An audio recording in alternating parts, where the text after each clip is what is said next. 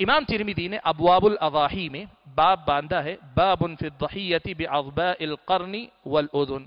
کن کٹا یا پھر یہ کہ سینگ ٹوٹا جانور قربان کیا جا سکتا ہے کہ نہیں؟ اس مسئلے کی وضاحت کرتے ہوئے حضرت علی ابن ابی طالب رضی اللہ تعالیٰ عنہ کا یہ اثر نقل کرتے کہ ان علی قال البقرة عن سبعہ۔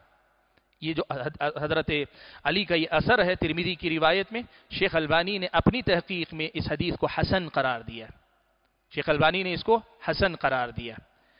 کہتے ہیں، البقرۃ عن سبعت حضرت علی نے کہا کہ گائے سات لوگوں کی طرف سے ذبح کی جائے گی۔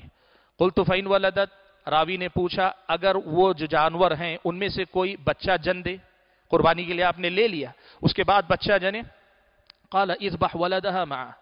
اس کے بچے کو اس کی ماں کے ساتھ ہی قربانی میں ذبح کر دو۔ قلت فالارجاء کہا اگر جانور لنگڑا ہو۔ قال اذا بلغت المنسک، کہا کہ اتنا لنگڑا ہو کہ آسانی سے پہنچ سکتا ہے۔ قربان کی قربانی کی جگہ، منسک، قربانی کی جگہ تو کر سکتے ہو، ورنہ نہیں کر سکتے۔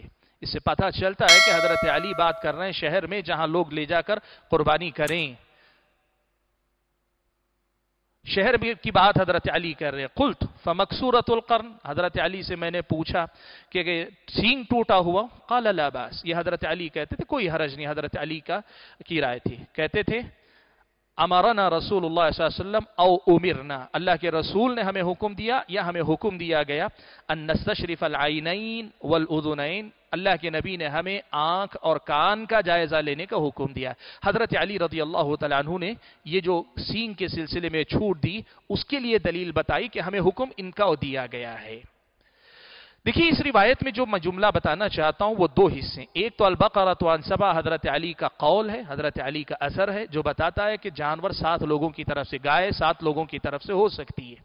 اور باقی حصے سے یہ بتانا چاہ رہا ہوں کہ مزید، اس لیے کہ اتنا کہنا خود کافی، اس لیے کہ سفر کا تذکرہ نہیں ہے ادیبیہ کا ذکر نہیں سلح حجت الوداع کا ذکر نہیں، نہ کسی اور حج کا ذکر ہے۔ عام مسئلہ حضرت علی بتا رہے ہیں۔ اور دوسرا یہ کہ باقی جو مسائل ہیں باقی جو مسائل وہ خود بھی تائید کرتے ہیں کہ یہ حضر کے لیے بھی ہے اور حضر ہی کے لیے بلکہ اصل میں ہے۔ یہ ہوا حضرت علی رضی اللہ تعالیٰ عنہ کا اثر۔ اس کے بعد آپ کے سامنے میں ایک روایت پیش کر رہا ہوں۔ یہ حضرت حسن ابن علی رضی اللہ تعالیٰ عنہ کی روایت ہے۔